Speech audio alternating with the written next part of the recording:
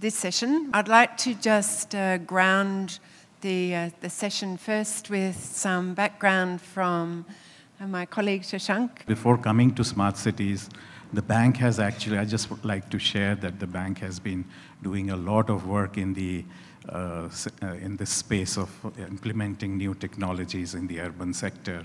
Uh, in other very innovative uh, uh, solutions from the Indian projects are uh, AI-based, artificial intelligence-based building approval systems, which automate something like 124 different parameters under various laws being automated and digitized and the new building approvals can be given by the system itself. So there is, there is a lot which is available within the country, but when we started discussing the smart city, uh, the projects and the programs, we found that there is a whole lot of knowledge outside the world. And I think we need to bring all this together. We also found that many of the technologies or solutions which are available have been successfully implemented outside India may not be implementable as it is uh, in the Indian situation because the ground realities are very, very different. So what is this process? Uh, the big challenge will be to get these best solutions, but adapt them to the Indian requirements and then implement it locally. Do we have the capacity to do that? Because in our projects, we have found the biggest challenge uh, on, for successful implementation has been the capacity on the ground the way a smart cities program has been uh, the, uh, structured is that the funding, the organization, the political support is all coming from the central government and the state government. But the implementation is decentralized. And that is another big problem we are finding because what we are asking is that the program should be implemented by the 100 smart cities but we have not been able to build the capacities. Has any of these 100 smart cities have any expertise or people on the ground who have ever implemented a smart city?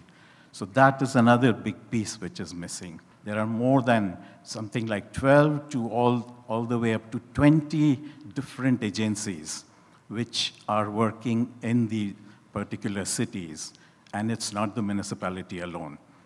So how do we bring all these 20 plus agencies to work together? So those are some key challenges. And how do we actually build capacities in all these multiple agencies? And that is where this study began. What we tried to do was to work very closely with All India Institute of Local Governance, which has been mandated by Government of India to do training and capacity building. And this, I think, then uh, at this stage, I'll request uh, our partners, AILSG Ravi, to present what uh, this study was all about. Uh, we are very old organization, almost 90 years. So we have been pre-independent. We have been working and supporting the urban local bodies and local government across India. Uh, there are various profiles that the LAG is helping and working with the cities across India. Now also some of the our South Asian cities are here. We are working with them also, uh, providing the maximum work on the capacity building programs. This is the 25 cities that we have selected across India.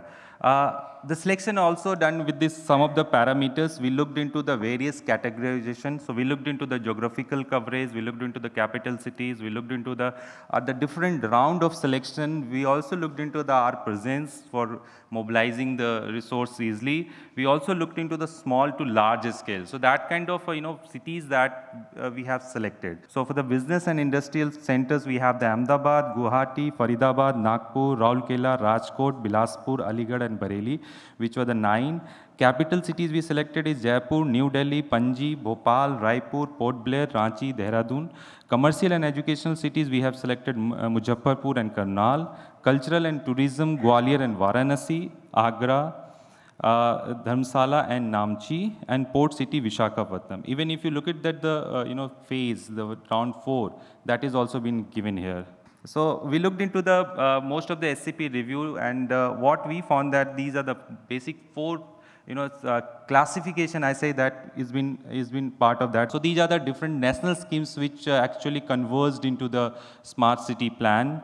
Uh, there are many ministerial also um, uh, under the uh, smart city plan conversions. State level, there are many departments which were actually converged, conversions were there. We thought that let us have a consultation. So we did the consultation leadership level where we met chief executive officer, additional CEOs, or whoever is the higher authority. Then draft has been discussed during the 30th November workshop where we called almost 25 to 30 smart cities CEOs, where the presentation has been done by the team and we got the feedback and done the some kind of a group activities as well before presenting today. So finally, the data analysis and finding, there are certain things, uh, if you look at the um, scope, size and nature of smart solutions. So if you look at this, most of the cities are maybe looking into the smart mobility. Most of the uh, cities talks about the e-governance Physical infrastructure mostly talked about, 25 talked about mobility, water management, eh, and waste management, sanitation. And within the mobility, these are the plans that's been talked about. Uh, social infrastructure also, there is a, uh, smart classrooms. Most of the cities has proposed about the integrated uh, uh command and control system. So if you look at the integration within the ICCC, that's an integrated command and control system. So this is the figure that you, you can see that. Like for example, water and sewage SCADA almost 48%, transport 72%, uh, smart parking 64% uh, and then GPS solid waste management 68%. We looked into the uh, smart solution would require GIS, spatial data and non-spatial data integration. Uh, for implementation of project because you know that most of the smart cities are talking about the different source of fund generation. So like government is giving 500 crore and state government is giving 500 crore. So rest of the money has to be generated by the cities. So there are a lot of you know, different models been proposed within the uh, proposal. So if you look at that, there is a, once again, there is a, a differentiation. Once again, uh, we asked also the cities that how kind of a technical staff in SPV and ULBs. Uh, we also asked the capacity and skill gap and challenges, key challenges in implementation of the project. So this is the response that the city has given. Uh, we also asked the what kind of key areas for the capacity building for the smart city projects. So they mostly is liquid to the figure, mobility almost 90% because most of the city has proposed the mobility plan, uh, you know, smart solution for the uh, um, uh, mobility. So look at the, I mean, requirement and the terms of capacity building. So if you see the maximum, they are looking for the advanced, some kind of a leadership, technical training programs, and operational programs. This is what the uh, try to give you a glimpse of that the uh, study that we have done and the result that we we have. This is what we are recommending and uh, hopefully things move and I think more or less we are trying to align this entire program with the Ministry of Housing Urban Affairs training program so that result can be achieved more. Thank you so much. What I saw in the report made a couple of things flash in terms of traffic lights. There's some stuff where everybody realized that they have some capacity issues, particularly around the technology skills. But where I see the proverbial cat circle the hot porridge and, and beating around the bush is really the realization on how do we ensure that all the staff is multidisciplinary to ensure that we get around all the different elements. What I see is, is, is a risk of doing just smart whatever, but we stay within our silos. And this is not the point of a smart city, a smart nation, or a smart community, or smart organization. It's breaking down those silos. I'm not saying that there's no capabilities in the cities. On the contrary, I think there is, and India has a massively large skilled population at all levels. But there seems to be a lack of, and a traditional challenge at place that we've also seen around the world in all global cities and in governments that the use of the technology is more that we are dragging it up the hill instead of using the technologies to pull up up the hill. Yeah, so, so we're pushing the technology all the time without actually looking at the realization. So in terms of sort of regulatory barriers, this requires lawyers, obviously. In terms of technology, that requires technicians. But we need to get them into the same teams so we don't get a legally defined or technology-defined smart city. I was trying to look at the ecosystem as an academics, and I figured out there are so many layers within smart city itself. And I figured out the focus of the city leaders was more on building up the integrated command and control centers. But let's not forget the whole idea of that is to fulfill the second layer which is to ensure that the governance is good, safety and security of the people is ensured, education and transport is there, and utilities are there. The amount of data which is getting generated is not a joke.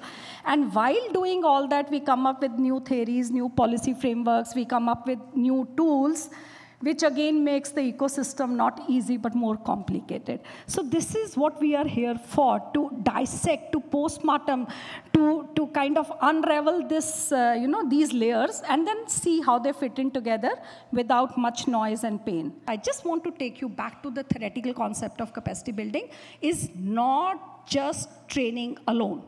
Hence, my proposal is to work on three levels simultaneously, not just three issues simultaneously, national and global, institutional and individual.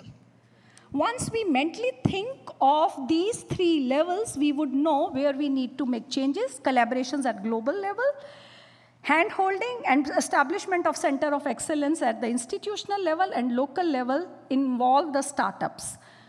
Center of Excellence should be a neutral body which is like your ITU, IEEE, something like that, which is constantly providing academic content on capacity building where we co-design, pilot the best and the worst practices, where we focus on emerging technologies, where we focus on policy updations, where we focus on collaborations and convergence in Indian context. We need to incubate innovations at startup level.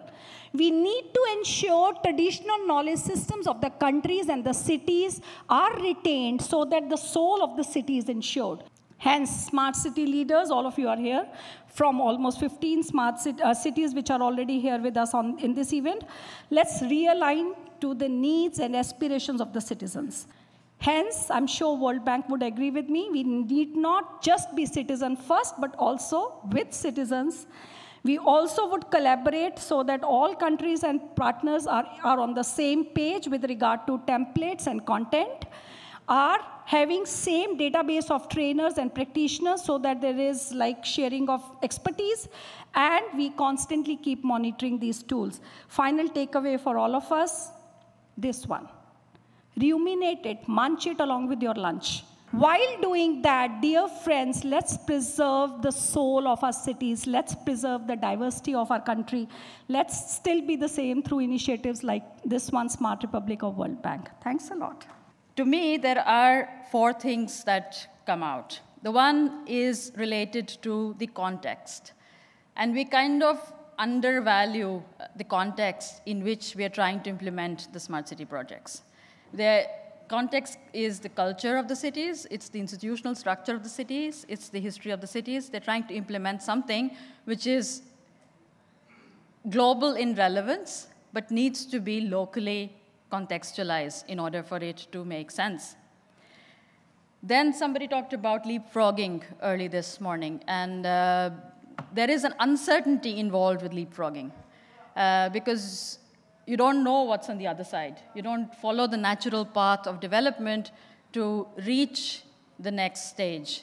You leapfrog to the next stage. And Jane, you said this morning that you need a lily pad, and I really agree with you that you need a lily pad. You need a structure to base that leapfrogging on. Then it's this uh, opposition by people. You have this concept of needs, and you don't know whose needs you're satisfying when you're actually making a vision of the smart cities. Is it for the majority? It is for the minority? That's one dimension of it. Is it, in the case of Indian cities, is it basic infrastructure needs, the gaps that you're trying to fill, or whether it's leapfrogging into high technology urban development? So there is a question about addressing needs here, which needs to be looked at. And then I think another part of the challenge which most, most smart cities face is actually upscaling or actually transferring the learnings from projects to urban development. Maybe when we're thinking of capacity building, and this is my feedback also to the report, that when you're looking at capacity building, not, we've identified the sectors and the needs the cities have expressed themselves, But picking up on Charru's presentation, different cities are in different places with respect to the structures they have for implementing these projects. The second thing that I would like to advocate for is an innovation-based approach to capacity building, an experimentation-based approach to capacity building. So I would advocate also for looking at early phase capacity building, as well as looking at a more varied mix of actors involved directly with cities. It's been called hand-holding. It can be called many other things. Uh, but a more broad-based, experimental, and innovation-based strategy for capacity building. I'll stop here one of the things that when they did an assessment of the MDGs, and that is that they realized that institutional aspects were really the weakest things that came out of the implementation of the MDGs. And if you're looking at SDG 11, you really have to tackle that. You really have to tackle public sector and government. And we're talking about government infrastructure and services, public services. Yeah? If you want to focus on something, this process has to be strategic it has to be relevant, yeah, so linked to the, the issues that each of these cities is facing. It's going to take time. It's going to be multidisciplinary. It's got to be participatory, without a doubt. And it has to be a process which helps government understand where they are now, where they want to go, how they want to get there, and how they know they've arrived, basically. Yeah? It has to be a process that helps people establish priorities because you just can't do everything yourself. It's about building or developing the capacity of local governments, whether it's the SPVs and the relationship to the line departments, but it's also about making sure that the capacity stays in India. Yeah? That we don't all fly in as consultants and say, here we are, but in fact, that we work closely with Indian training and capacity building institutions to make sure that their services that they provide are also, yeah? So if you're looking about how we as international people can contribute or exchange knowledge, it's not only with local governments, perhaps through innovative practices like peer learning, et cetera, et cetera, but it's also how do we as capacity building institutions partner with Indian capacity building institutions. Yeah, thank you.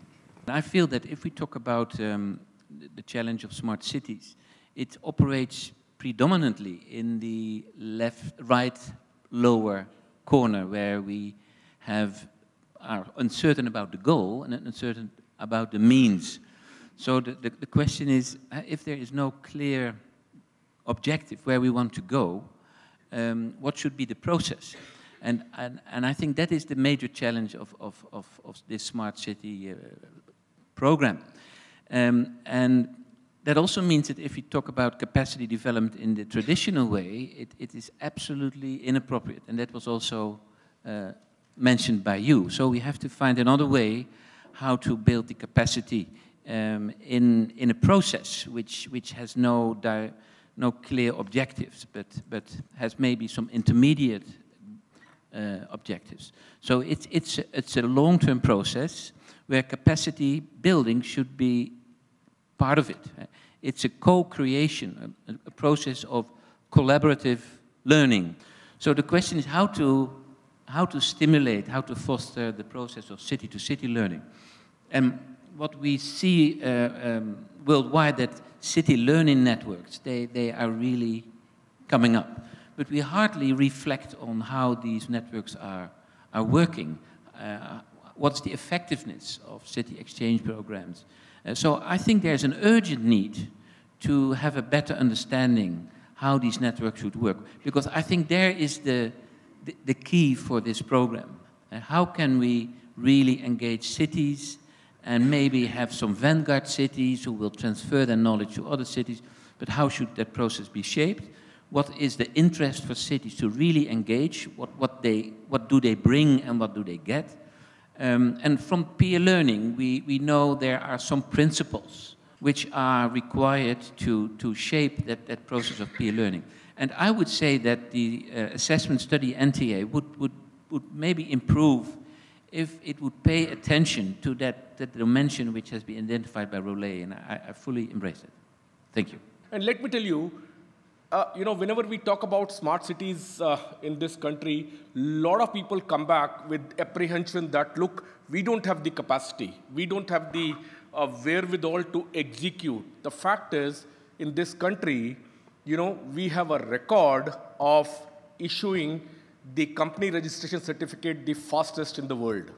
We, in, in Ministry of Corporate Affairs, MCA21, the portal that we have, the same set of people who were working manually are issuing a company certificate in less than six hours of time. That's the beauty. It, this, is the, this is the country wherein by the time you come out of a passport office, you have an SMS. By the time you reach home, you know, you have an SMS that your passport has been printed, and if you are staying outstation, by the time you reach home, the passport may reach before you, right? So, and this is the same set of people who were issuing this passport in 45 days' time. In, so the answer probably lies somewhere not in a whole capacity building program. Answer probably lies, ladies and gentlemen, in creating a culture for capacity building. These are the suggestions that, uh, that, that I have. One, emerging technologies will need to be a part of the core uh, awareness agenda. So artificial intelligence, IoT, blockchain, whether or not, whether force feeding, whether required or not, whether somebody wants it or not, I would need to train these people to prepare for something that is definitely bound to come to them. That's one. Second, my existing and future both workforce would need to be need to be trained, would need to be developing the skills. And to me, in, in countries like emerging countries like India, the best uh, you know part and, and would be to develop skills while working. Capacity building for smart cities will not be two separate silos of ICT capacity building and domain capacity building. It will be one put together. And finally, you know, capacity building for us is not people sitting in this hall. Going forward, a citizen will have to be trained on usage of this. You know, end user literacy from my side, end user literacy would also be a part of my capacity building. If not capacity building, at least an awareness building plan that I will need to create about end users. I can talk about back-end skilling, back-end operations, but if I don't talk about the front-end users who need to be trained, and that is where, you know, uh, people like us come in, and when we engaged with the Indian government in SAP, we created this program called Grow with SAP, for citizens, we created a program called Code Unnati. We are actually giving digital literacy to citizens. And we are also highlighting the horizontal transfer by picking up champions, we call them digitalists, and showcasing to the world that this thing.